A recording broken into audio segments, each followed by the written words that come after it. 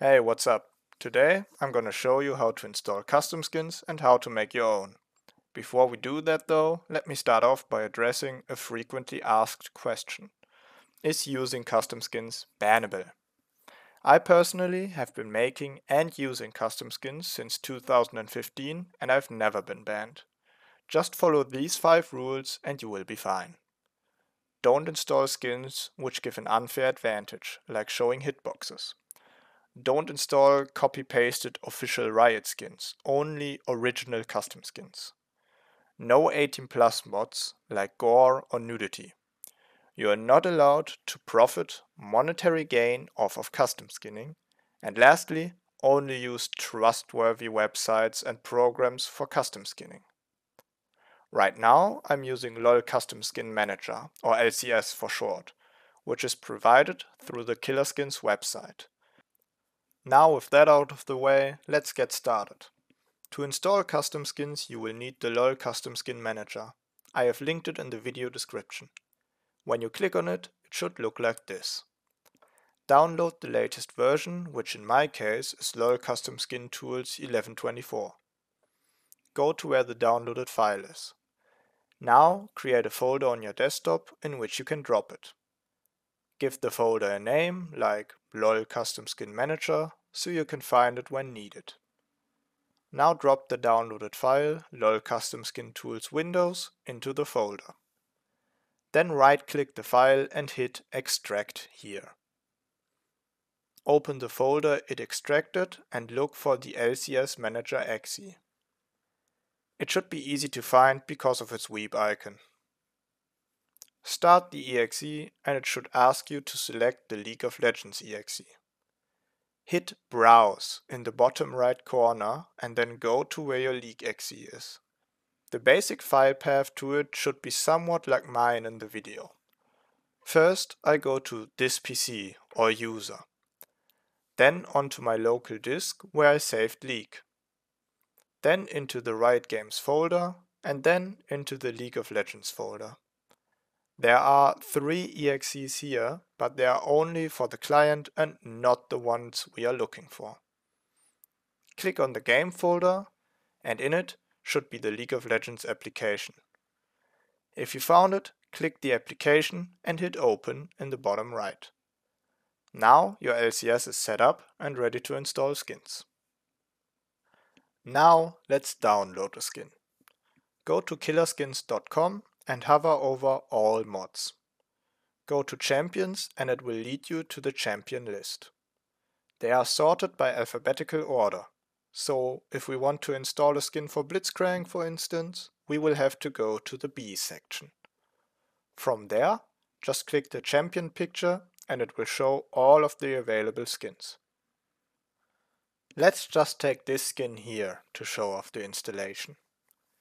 Click it and scroll down until you find the download button.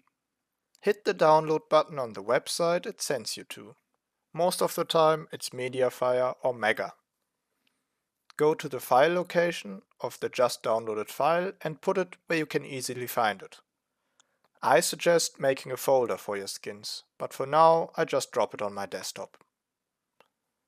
To install the skin, just drag and drop it onto LCS. The skin is now installed, but deactivated.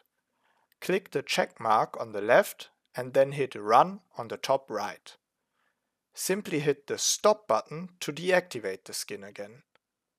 You can also activate the skin while the League client is open, but never activate one in the loading screen. It will mess up your files. If you are unsure if a skin will work or not, it's best to quickly test it in the practice tool. This skin seems to be working with no problems. Now that you know, you can go into the real game and enjoy the custom skin. Have fun! Alright, now that we know how to install custom skins, the next step is to make your own. By now, the normies have clicked off the video, what remains is chat-like creatures such as yourself and I, who are looking to create their own skins.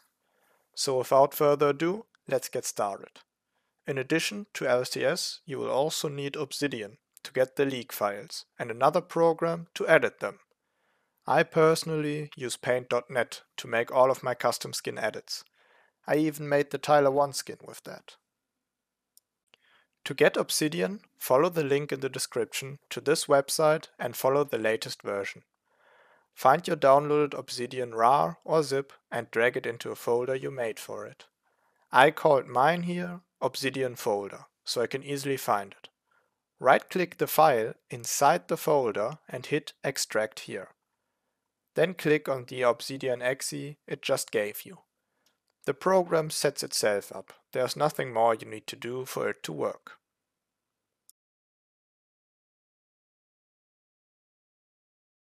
To access the League files, hover over File and click Open.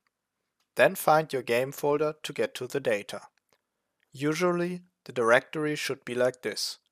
This PC or user, the place where you saved League, in my case local disk C, then Riot Games, League of Legends, Game, Data, and Final, and then Champions.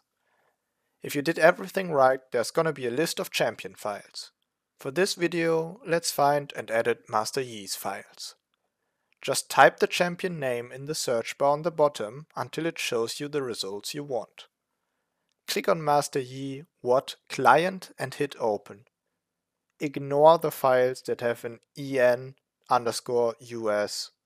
They are localization files and are just for sound, not visuals.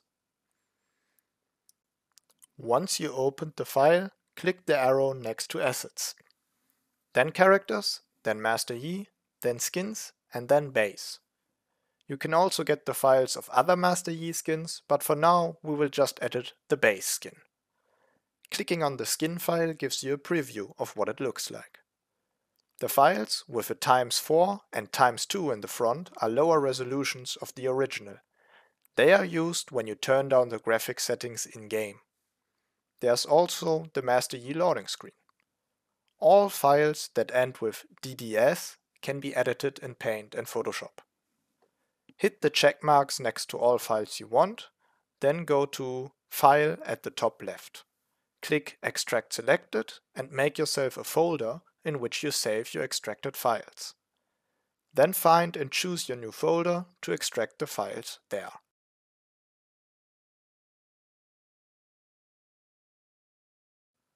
You can now minimize or close Obsidian. You won't need it anymore. Now open paint.net to edit the files we just extracted. Simply drag and drop the ones you want to work on. To change the look of Master Yi, we can use all the tools and effects Paint has to offer.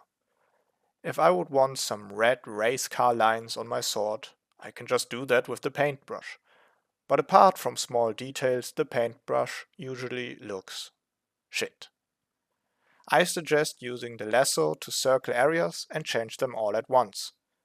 Hit S on your keyboard to switch to the lasso, or just click Tool on the top left to choose from the different options. Let's do something simple and just make a Master Yi chroma. Use the rectangle lasso on the entire file. Then click Adjustments on the top and hit Hue and Saturations. You now have three sliders for hue, saturation and lightness. Shift them around until your skin has a color you like and hit OK.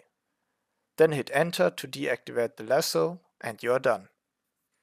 To make sure your skin works on all graphic settings, copy and paste your work onto the lower graphic skins.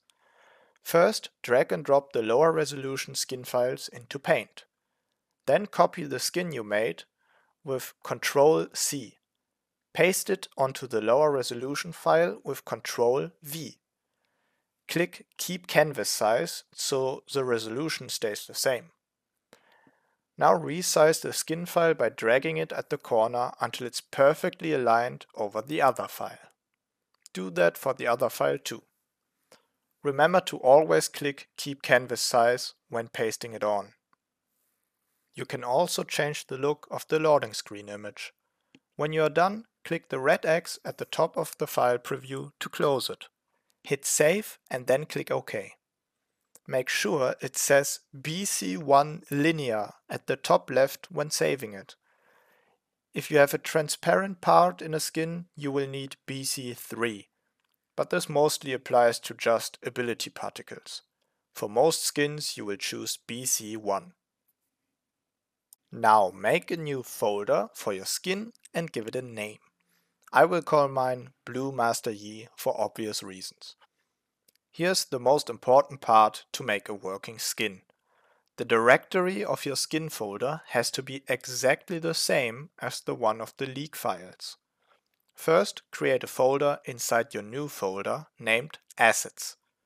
Then go inside Assets and make a folder named Characters. Go inside the Characters folder and make a folder named after the champion, in this case Master Yi. Now go into the Master Yi folder and make a new one called Skins. Go into the Skins folder and make a new one named Base. Into the base folder you can now copy and paste your skin files. If you make a skin and it doesn't work at least half of the times you just messed up the file path. So make absolutely sure it's correct. Now that the skin is ready, we can just drag and drop it into LCS like we do with skin files. Hit the check mark on the left and then run on the top right to activate the skin and it's ready to go. Start a practice game to test if it works and make sure to choose the skin you replaced. In this case, Base Master Yi. Et voila! Another beautiful skin. And this is basically how you custom skin. If you get a lot of practice in with Paint or Photoshop, you can make some amazing creations. Anyway, I hope this video helped you. If it did, leave a like and subscribe cause I'm gonna make more custom skin content in the future.